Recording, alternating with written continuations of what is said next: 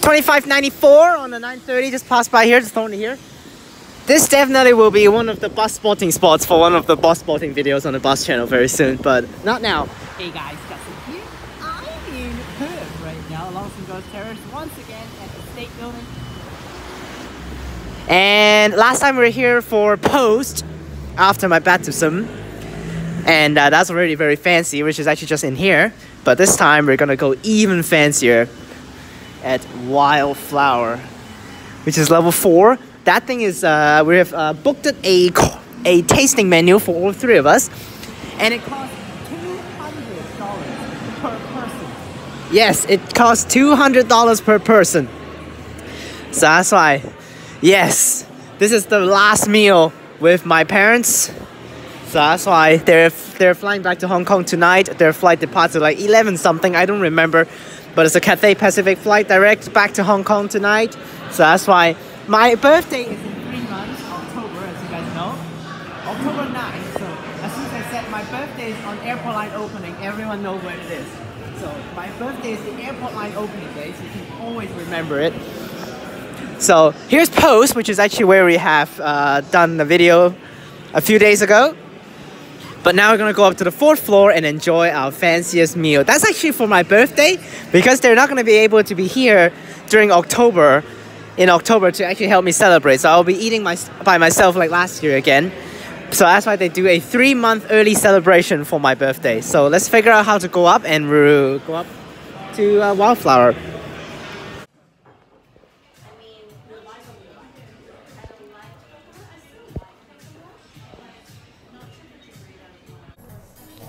All right, so uh, through online, uh, through maybe I don't know online booking or call booking, we have booked a six-course tasting menu. Costs one hundred and eighty dollars per person. Actually, it's less than two hundred. It's actually now there's actually another, which is actually an eight-course. So the eight-course is uh, basically the same menu, but two extra dishes, one extra appetizer, an entree if you guys want to call it and one extra thing at the end, which is I think it was a cheese. Yeah. So that's an extra dessert that we don't really think that that's actually a dessert, so that's why we go for a six. Plus, that's actually also another thing is just in case the eight course is gonna be a little bit too long to eat, then my parents won't be able to make it to their flight on time. So that's why we go with six course, which includes all the stuff at the bottom, which is already looking very high fa fancy looking. And I also ordered myself a drink, which is non-alcoholic. Yes, I'm already over 20, but I don't like the taste of alcohol, or it should be on. In other words, I still don't understand the beauty of alcohol, so that's why no alcohol for me. And my drink is here. All right, here's the drink very quickly. I think it's just, I think it's soda water, yeah? Yeah, soda water inside with all of the five. Uh, So basic chickpea panisse. On top, creamies, garlic and fennel hummus with some finger lime pills and finished with fresh flower garnish.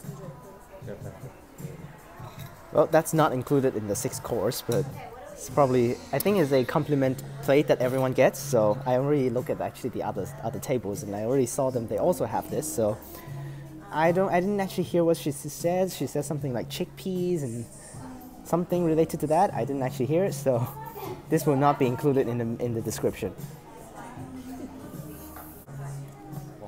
Okay, oh, I actually forgot to film. I already eat this.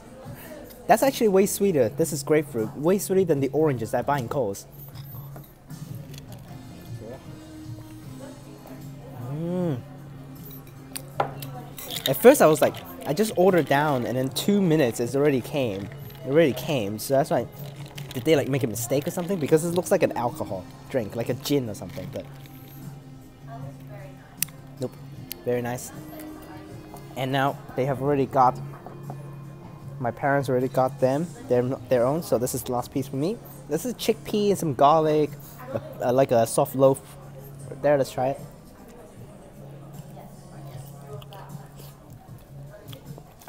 Mmm. Potato cake some chickpeas, some garlic, some, some, some seasoning on the top. Pretty good. Mm.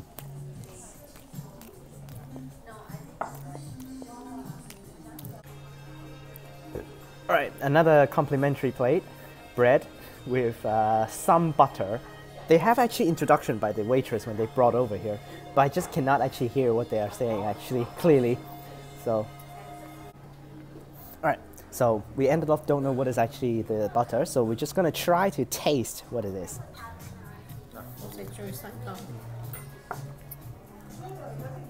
So bread like that, pretty soft. Let's see what's this butter. There's some sea salt on there. I definitely saw that. Now, if you guys don't know, I'm a butter lover, so that's why you see how much butter I need to grab. And actually, for some of the normal bread, I never spread it. I just eat it like this. This is actually how I want it. Don't spread too much. Eat it as it is, like that. Big old patch. Okay. See what it is.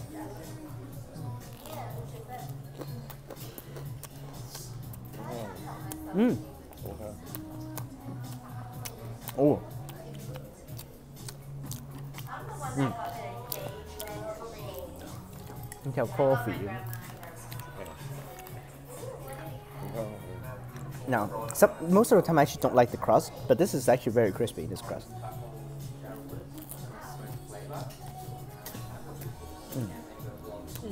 Yeah. Let me taste some coffee. Is it inside the butter or in the bread? Let's see. Just eat the butter.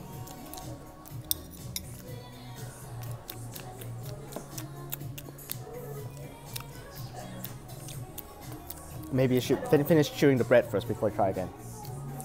Just a little bit.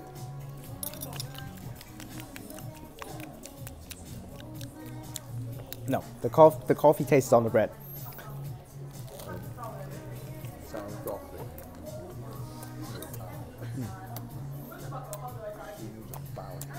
It looks like a sourdough. More butter. This like that. How much butter I put. Sorry guys. Mm.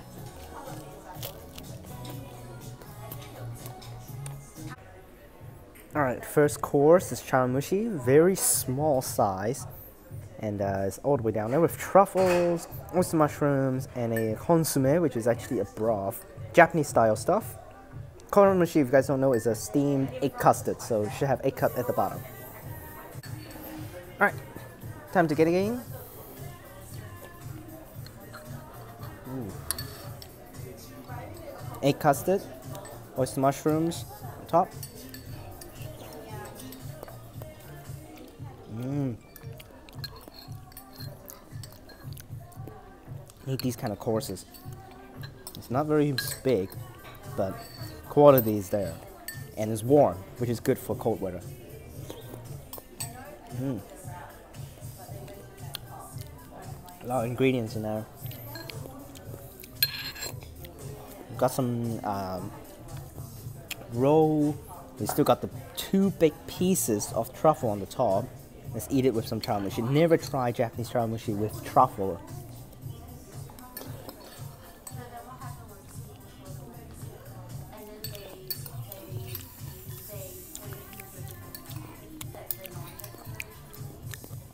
Is that truffle? You don't even taste any truffle flavor. Just eat it like, like it is. Oh, yes.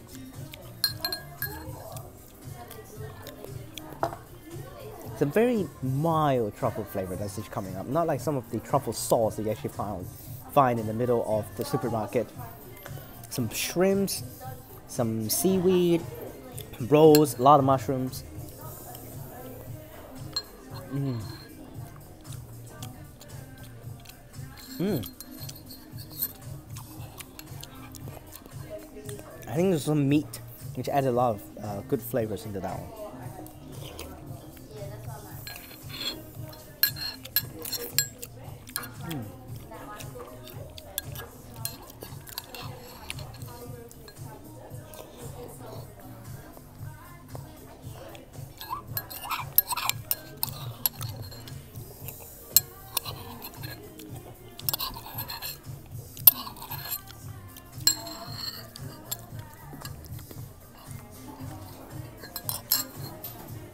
Next course.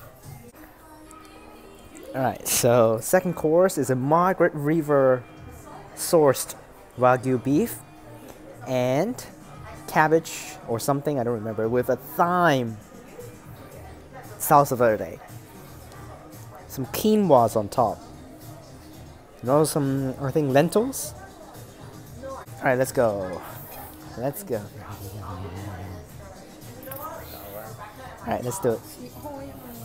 Let's see how this cooks. It looks very tender. It's actually soaked in red wine, so that's why it's actually very tender. It's pretty good. Pretty good size, not too huge. Oh. Mmm. Mmm. You can taste the sweetness of the things. The thing is, recently we have eaten a lot of things. Recently, a few days. These few days we have eaten a lot. That's why this size is actually pretty decent. Mm.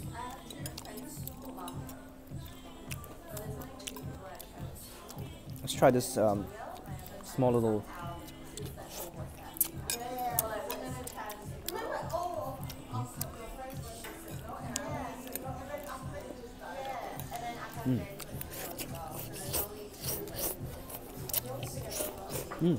That's so rich.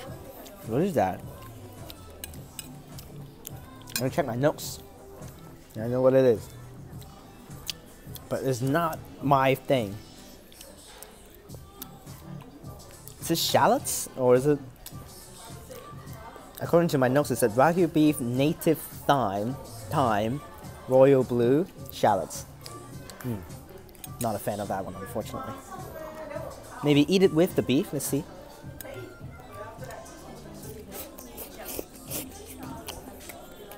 Mm.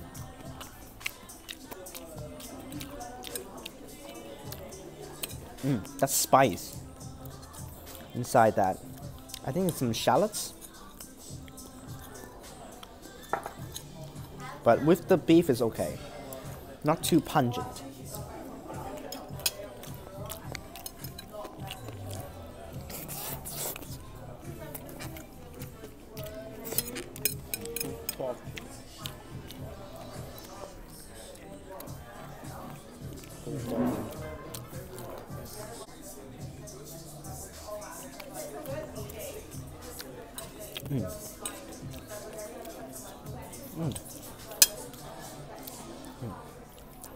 Not a bad course.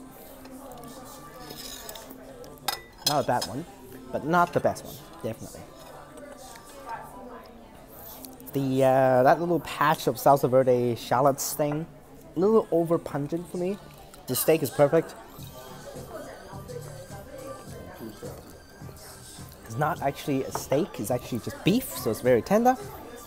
My dad said it's actually very salty, over salty, but for me it's perfect. So it depends on a lot of people's uh, tasting profiles. But on to the next course. All right, third course, lime. Uh, was that the cod fish, which is a pink snapper, seared in caramelized butter. Bottom we have a prawn and fennel tartar, and this is a celeriac puree, and we also have a bisque, which is a seafood shells reduction. All right, let's do it. Ooh, it's pretty smooth. Mmm.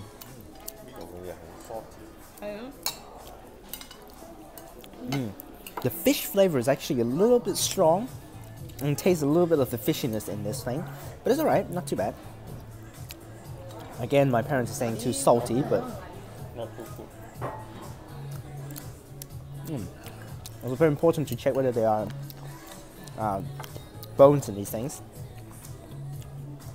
Now, this thing compared with the one I ate on Rottnest Island, this thing is so dry actually. Yes, this thing is dry.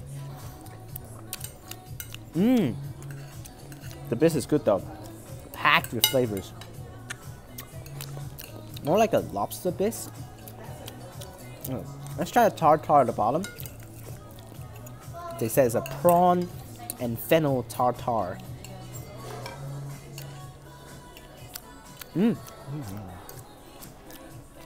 Oh my god. What is that? That is so strong in herb. What's that herbs? Yeah, I can taste the prawns in there.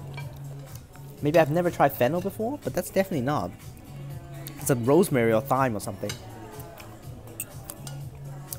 Very pungent. Just like that. Just like that. What was that thing called? Earlier on.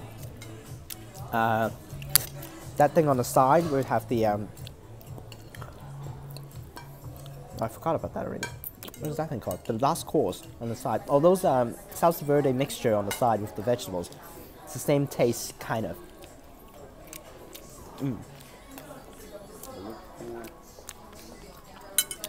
Mm. The first course is still the best so far. No, not gonna lie. The levels are going down right now for the uh, plates.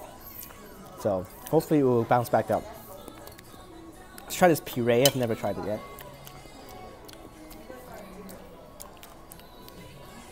Mm. Very smooth. That's one um, saving grace, I think.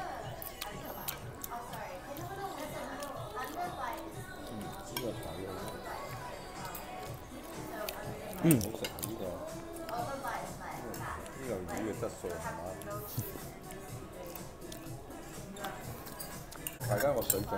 All right, last bite. Mm. Honest thoughts? Lobster, uh, the, the seafood bisque, very delicious, very rich, like that. Celeriac puree, like the texture, very very nice. Matches well with all the other the, the bisque and also the uh, the fish. The prawn and fennel tartar, I'm not a fan. A little too pungent for me. So the herbs flavor is a little too high. So, and the last thing is the fish, the main core, the main thing on the plate. The first few bites are okay, but after it hits some of the parts, it's actually very fishy. It just kicks in and it's like hit it, and it's like oh my gosh. One bite I almost threw up. Immediately I need to get some drinks in to like flush those out because it's actually too fishy that sometimes I just really want to throw out and just spit it out. But this is a fancy restaurant, so I try not to do that. Overall, right now, the first course very good. Second course okay. Third one not that great. So let's see what's the fourth course. We'll actually be able to bounce back. All right, our fourth course presentation looks very good over here. We got duck breast, it's dried aged, and we got some greens, spinach. Instead, there's like duck prosciutto, which is actually a very funny one, and some pickled quince, which I've never tried quince on its own because it's actually a very difficult fruit to handle. You need to like peel it and then cook it before you eat it. And then we got some, uh, I don't remember what is this, some radish, uh, some radish purees, and I don't remember that one in the middle there. This uh, this one does actually have no color. All right, time to dig in. The fish was a letdown, so hopefully this one will be a little bit better. Now there's two pieces, and it looks they cooked it pretty nice. Oh my gosh, it's so crispy too. The skin is crispy.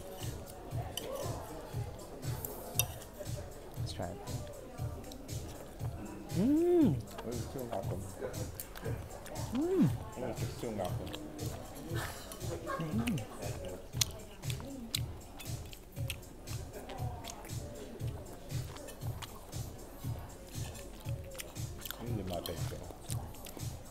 I like this course a lot.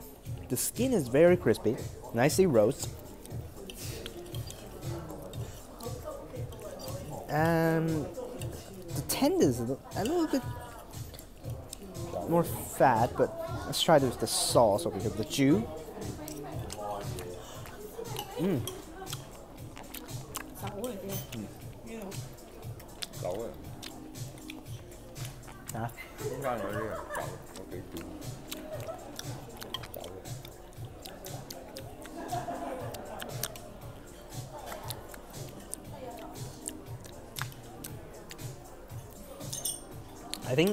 According to my parents, these things are the middle one, the, the little dots, alcohol. But I don't really taste that much alcohol. Maybe you can try some of those. They definitely to get a better fork. Let's just dip onto those things really quickly.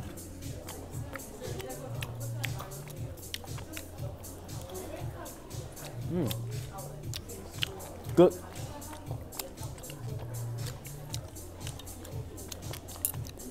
The saying goes, the uh, main course, the sides have to be as good as the main course.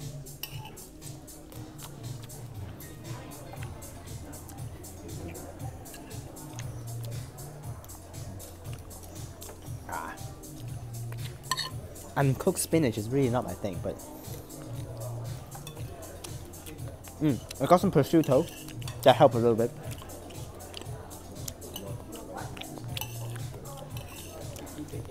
Pickled quince. Mm.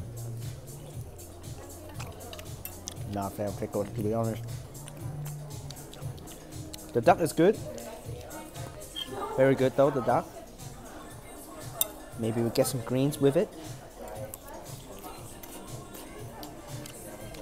Mm.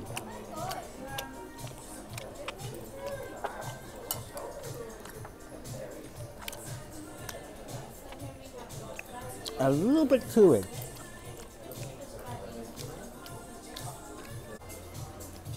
That's by pretty much a clear plate. Some of the sauces didn't actually complete, but of the meat and everything's clear. Mm. Definitely way better than the fish. Everything works well on the plate. So, mm. Especially like the jus in the middle with all of that little, I think it's actually a grape.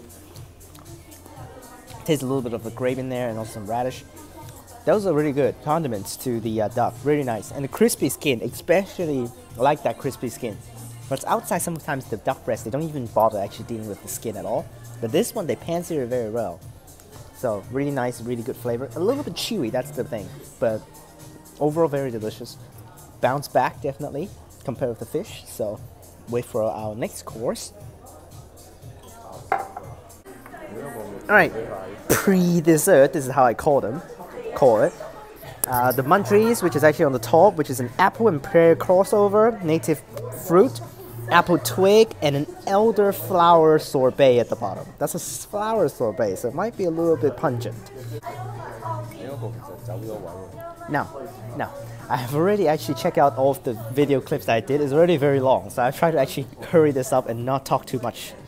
I'm just gonna do one, everything in one go. Everything.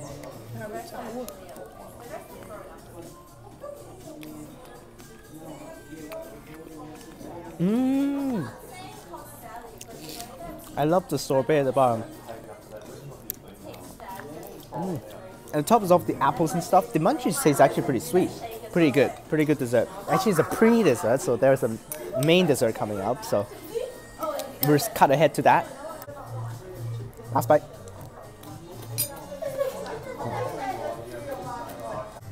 All right. So last course is a chocolate cake. Inside 66% dark chocolate. On the side is mandarin gel and a mandarin something over there. So, so it is chocolate and mandarin. So let's do it. And also some bee honey. Mandarin is a Chinese orange. You guys know that. In inside is actually pretty rich looking. Mmm. All of that.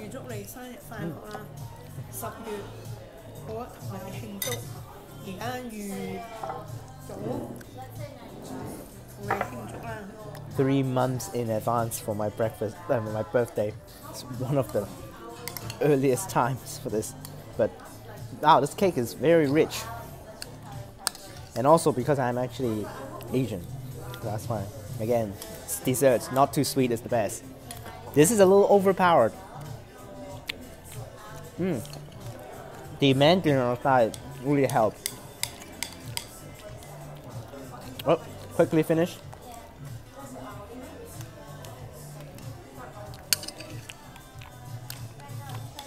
Last bite of today's six course tasting menu.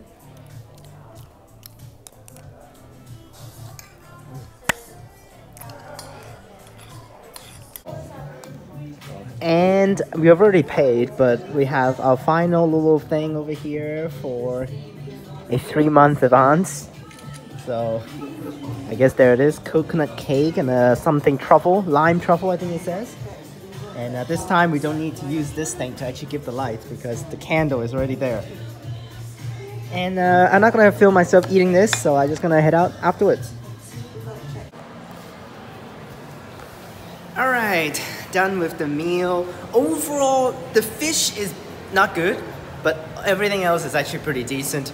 Taste is a 4 out of 5, not very high because of the fish actually bringing it down, so environment's perfect. Service actually is, uh, the waitress actually some at the end is actually not really showing a lot of emotions. They show a little bit more facial expressions and I can actually feel a little bit better.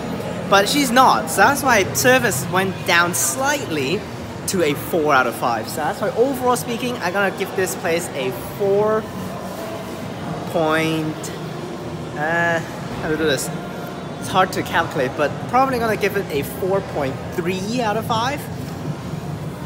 So, well, but this is a very fine dining experience. If you guys want to come and enjoy the views and try to like enjoy a little bit of a short time up there, enjoy the views in a dark environment with very nice environment and all some of the some of the good food. You can try that one out. Very expensive though, so that's why it comes only when you have a special event. Hope you guys enjoyed this video and I'll see you guys next time. Click on these videos up top. Remember to subscribe and peace.